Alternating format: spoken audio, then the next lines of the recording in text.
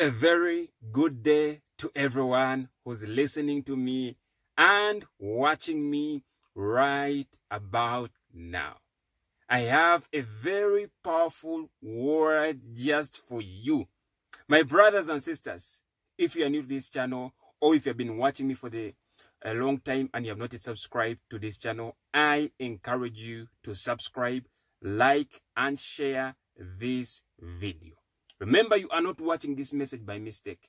You are not watching this video by coincidence.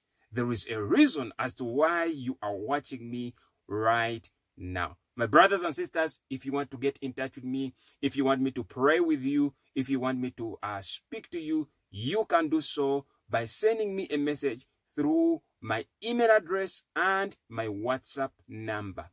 All those details are in the About section of this channel.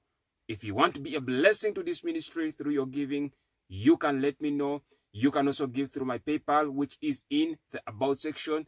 If PayPal is giving you problems, you can send me a message and I will give you details where to give. My brothers and sisters, today's word is you will not die. You will live. In other words, you will live and not die. Some of you situations have come up against you.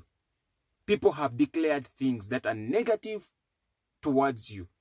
People have spoken death over your life. Some of you things are dying. Your businesses is dying. Your family life is nowhere to be seen. Your relationships are dying. Some of you physically, you have a disease that even doctors cannot comprehend it. Even when they, they, they, they try to know the cause of that disease, they cannot treat it. It seems like things are getting worse to worse. Some of you might have a mental illness, but I'm, I'm here to encourage you that that thing is not going to take you down because God is going to raise you up. Remember, you have the mind of Christ. God lives in you. Do you know what that means? For God to live in you, you are the temple of God.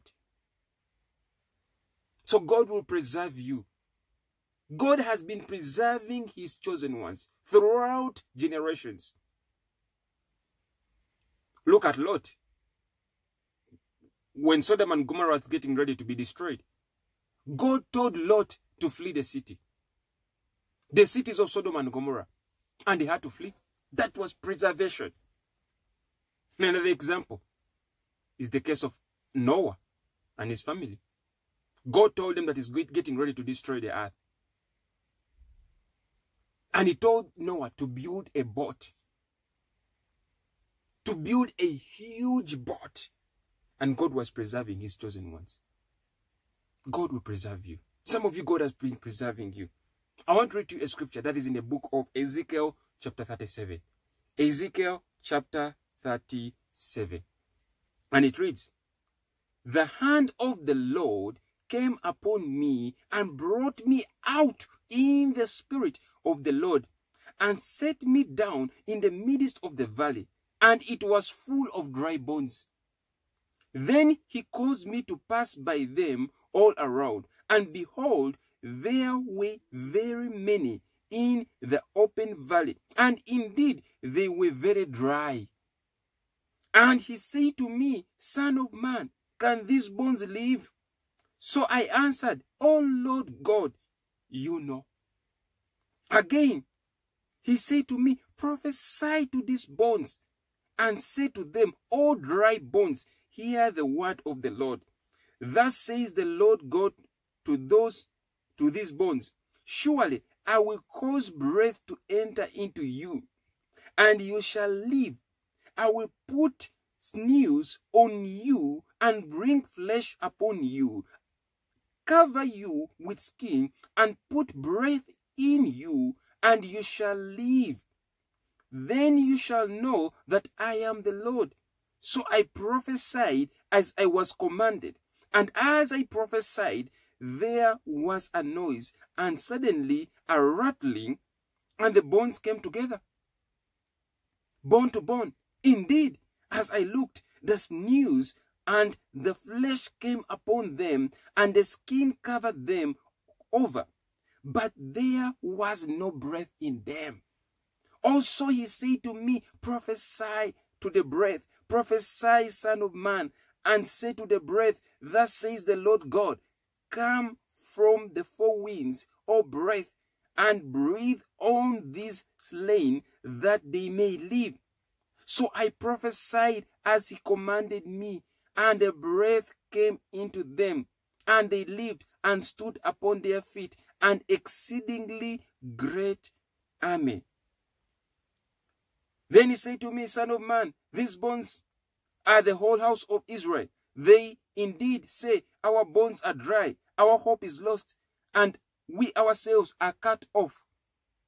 Therefore, prophesy and say to them, Thus says the Lord God, Behold, O my people, I will open your graves and cause you to come up from your graves and bring you into the land of Israel.